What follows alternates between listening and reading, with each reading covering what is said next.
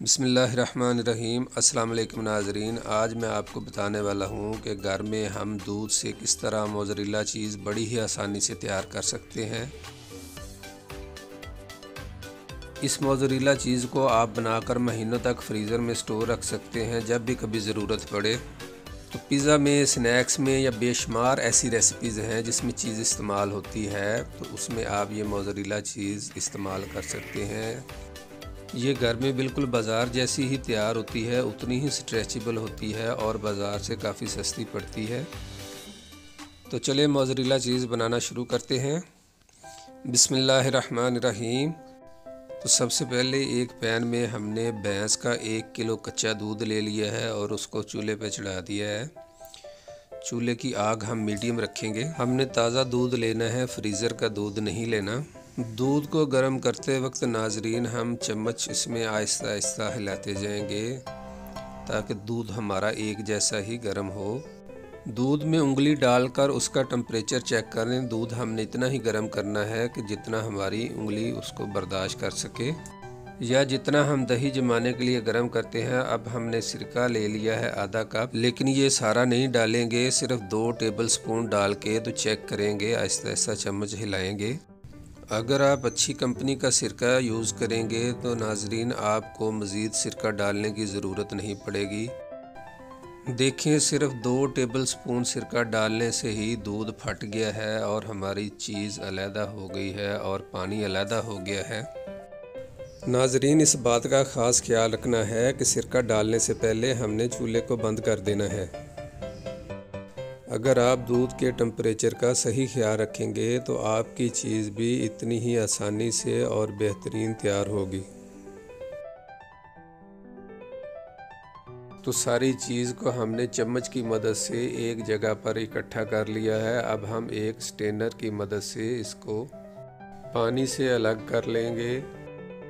नाजरीन, अगर आपको मेरी ये वीडियो पसंद आ रही है तो मेरी वीडियो को लाइक कर दें, मेरे चैनल को सब्सक्राइब कर दें और घंटी के बटन को दबा दें, ताकि मेरी हर आने वाली वीडियो आप तक बर वक्त पहुँच सके।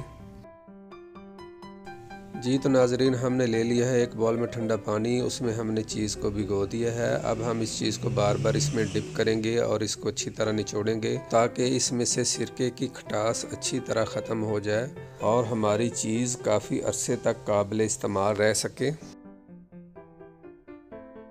इस समल को पाँच छः बार ही दोहराने से उसमें से सारे सिरके की खटास निकल जाएगी और हमें हासिल हो जाएगा हमारा चीज़ बॉल।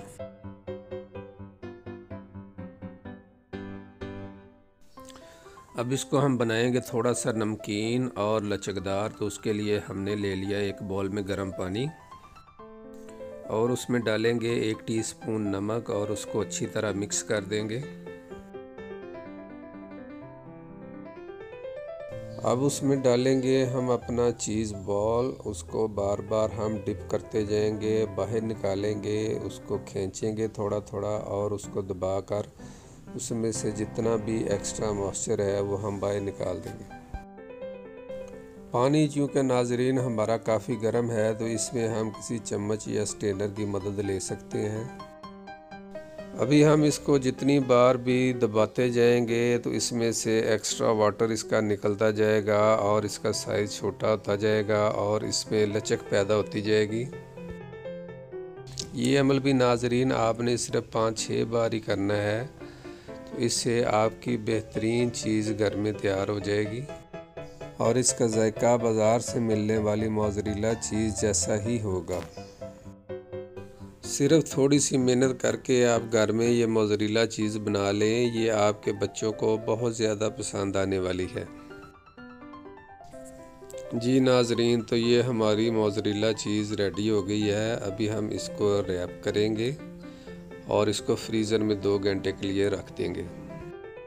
तो इसको हम निकालेंगे फ्रीज़र में से दो घंटे बाद और इसको करेंगे श्रेड तो अभी हम बना रहे हैं चिकन चीज़ सैंडविच तो उसके लिए हमने ले लिए हैं चिकन के शामी कबाब। अब हम इनको फ्राई करेंगे। ये बहुत ज़्यादा मज़ेदार बनने वाले कबाब हैं नाजरीन। इसकी रेसिपी भी मैं बहुत जल्द आपके साथ शेयर करूँगा। मेरी पिछली सारी रेसिपीज़ की तरह ये चिकन शामी कबाब की रेसिपी भी बहुत ही ज़्यादा स्पेशल है। ये देखने में जितने ज़्यादा खूबसूरत नाजरीन आपको नज़र आ रहे हैं, खाने में उतने ही ज़्यादा मज़ेदार बनते हैं।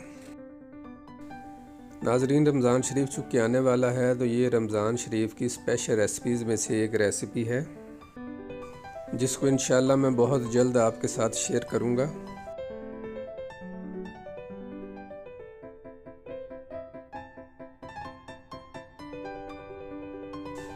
ये दो घंटे बाद मोजरीला चीज़ को हमने फ्रीज़र में से निकाल लिया, नाजरीन देखिए, अभी मैं आपको इसको काट के दिखाता हूँ। ये देखिए, माशाल्लाह माशाल्लाह, बेहतरीन मोजरीला चीज़ हमारी तैयार हुई है। घर में बहुत ही आसानी से बन जाने वाली ये मोजरीला चीज़, नाजरीन। आपके पिज़्ज़ा, लाजानिया या स्नैक्स को लगा देगी चार चाँद और उनका मज़ा कर देगी डबल। अब हम इसको करेंगे श्रेड और बनाएँगे अपना चिकन चीज़ सैंडविच तो लीजिए जनाब ब्रेड के ऊपर हमने बना ली है चिकन शामी कबाब की बेस और अब हम इसके ऊपर रखेंगे मोजरीला चीज़ आप अपनी मर्ज़ी के मुताबिक कम या ज़्यादा चीज़ रख सकते हैं, मुझे ज़्यादा पसंद है तो मैं इसलिए इसकी फिलिंग ज़्यादा करूँगा.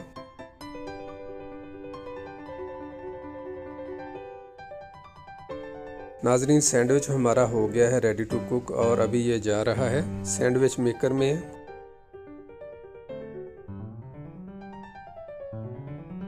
जी जनाब तो हमारे सैंडविच हो गए हैं रेडी देखें माशाल्लाह कितना प्यारा कलर आया है।